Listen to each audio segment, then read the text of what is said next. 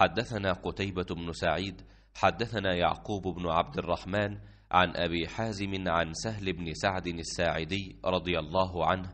أن رسول الله صلى الله عليه وسلم بلغه أن بني عمرو بن عوف كان بينهم شيء فخرج رسول الله صلى الله عليه وسلم يصلح بينهم في أناس معه فحبس رسول الله صلى الله عليه وسلم وحانت الصلاة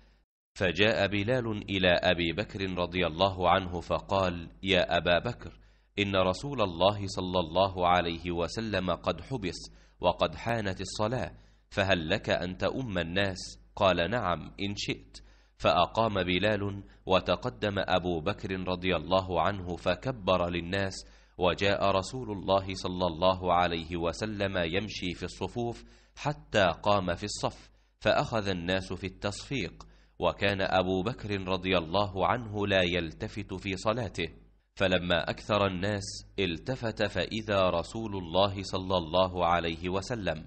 فأشار إليه رسول الله صلى الله عليه وسلم يأمره أن يصلي فرفع أبو بكر رضي الله عنه يديه فحمد الله ورجع القهقرى وراءه حتى قام في الصف فتقدم رسول الله صلى الله عليه وسلم فصلى للناس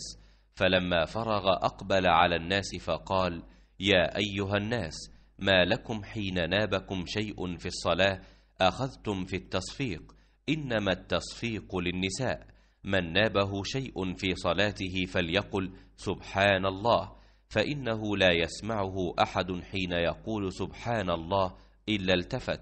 يا أبا بكر ما منعك أن تصلي للناس حين أشرت إليك؟ فقال أبو بكر رضي الله عنه ما كان ينبغي لابن أبي قحافة أن يصلي بين يدي رسول الله صلى الله عليه وسلم.